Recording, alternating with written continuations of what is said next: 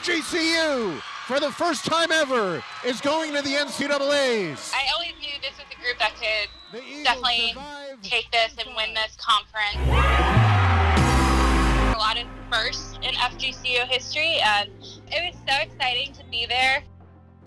That was Olympic hopeful Brooke Sweat praising her former FGCU volleyball team for their record-breaking season. Sweat saw the Eagles accomplish some of those firsts firsthand, showing support from the sideline and on social media. She was in Orlando when the Florida Gators beat the Eagles in round two of the NCAA tournament.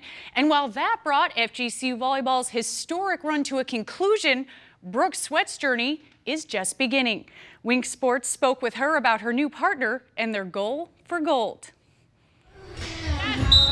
I mean, she's one of the greatest of all time. Brooke Sweat is teamed up with beach volleyball's most decorated player in history for a shot at the 2020 Olympics, something she could only dream of when she first met Kerri Walsh Jennings when she was a freshman on Florida Gulf Coast's volleyball team. Years ago, when I was at FGCU, Carrie and Missy came and played a little uh, showcase, just being in awe of them.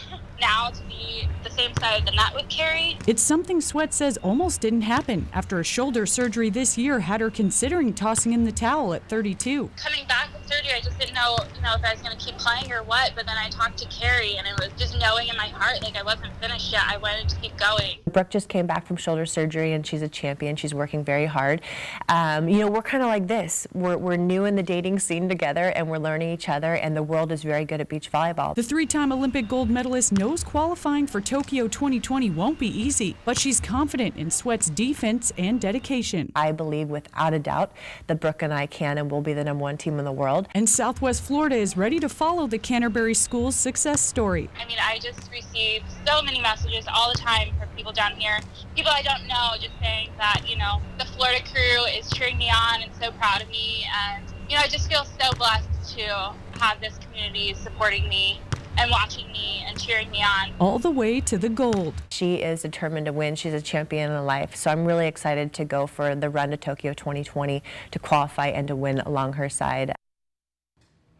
And right now, Kerri Walsh Jennings is working with Dick's Sporting Goods for the Sports Matter program. That partnership raises support and millions of dollars for youth sports.